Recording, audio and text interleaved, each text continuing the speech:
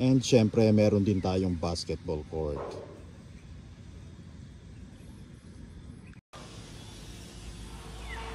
Meron tayong swimming pool, playground, clubhouse,